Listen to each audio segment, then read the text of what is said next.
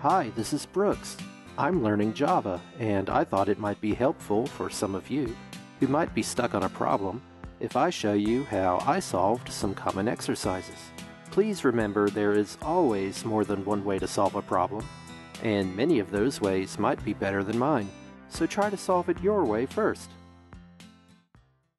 This exercise wants us to write an algorithm to find the number of characters in a given string that do not change position after the data is reversed. For example, if we are given this string and then we reverse the string, put it in opposite order, how many of these characters do not change position? In this example, the answer will be 4. This A, these two X's, and this A, which remain in the same place in both strings. We will begin by creating our test string.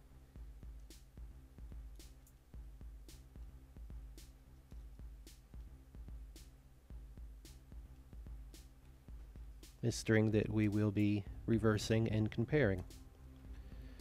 And of course, we're going to be needing to count the number of characters that don't change position, so we will need a count variable.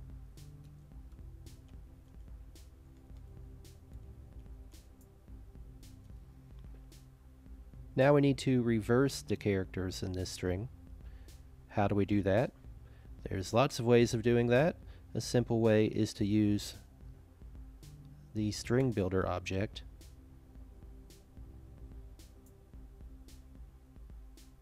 I'll call it string2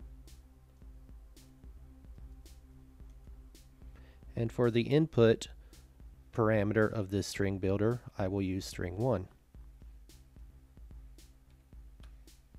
This is creating a string builder object that contains the characters that string 1 has. The same characters as string 1 now exist in this string 2 string builder object. How do we reverse that? Easy enough. String builder gives us a function that'll do that.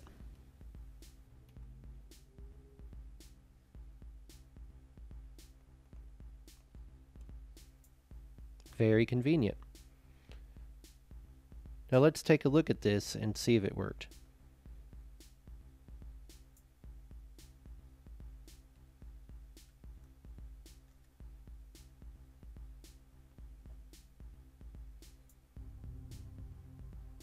Okay, we can see now that this is the reverse of this. So far, so good. Now to find the number of characters that haven't changed position, we need to compare these two strings, our original string and our string 2 string builder object, one character at a time, and see if the characters in both are the same at any given position. A simple for loop will suffice for this.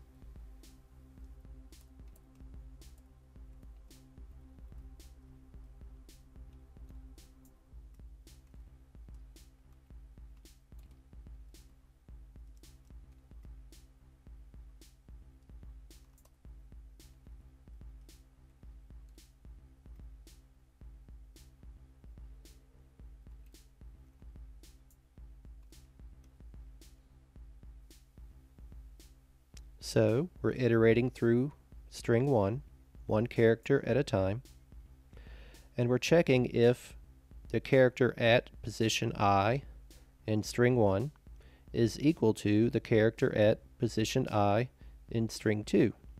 If it is, we increment the count variable. If not, we don't. And then our answer, of course, will be